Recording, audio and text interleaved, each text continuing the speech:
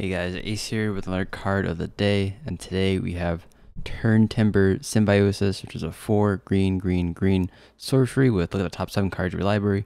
You might put a creature card from among them onto the battlefield if that converted amount of cost of the card was 3 or less, and there's an additional 3 plus plus 1 counters on it. Put the rest of the bottom library in random order. This card also has a land, on the other side of it, which is Turntimber Serpentine Wood, which comes to battlefield tapped unless you pay three life and adds a green.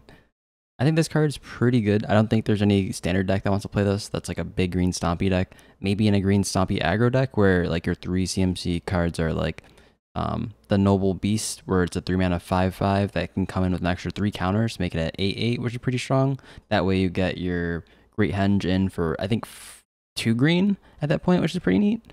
But I don't think it's good in anything else in standard.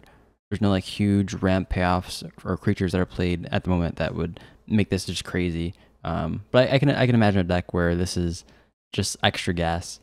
I don't think in modern this is gonna be played too much. Maybe there's a deck that wants to play this. Probably something like a um, a Scapeshift deck. I imagine if they, if they need gas, they could probably work in there somewhere. Other than that, it's probably just like another Shockland, unfortunately, where you just have to pay three life most of the time because in those metas Generally, the format is a little faster, so it's not going to matter too much.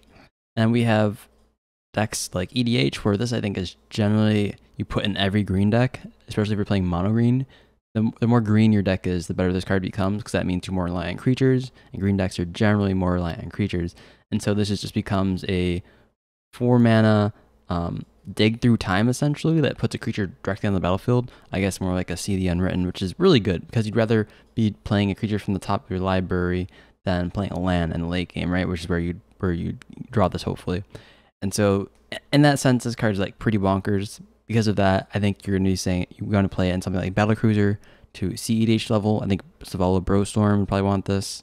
Maybe even a Yisan would want this when they get that late. Although Yisan seems to be more of like a toolbox, um, a toolbox slash combo sort of deck where this might not even be played as much if you have Yisan out. Because if you have Yisan, you just Yisan, right?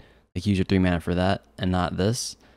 Um, I guess it all depends on like the board state at the moment at the at that time. But yeah, this goes in a lot of green decks. You should play it, which really goes to show how like stronger these colors are. Like the green, the the, the red, and the black, and even the blue is compared to white. Where white gives you, I guess it's a whole different video, but the value you get out of this compared to like some of the other mythic legendaries in the Zendikar Rising lands is just crazy. Especially being able to choose with a high density of creature count uh, creatures in your deck. This is just good. Just a good card. Play it. Anyways, peace out, guys. See you guys later, and tell me what you think about this in the comments down below. But peace out.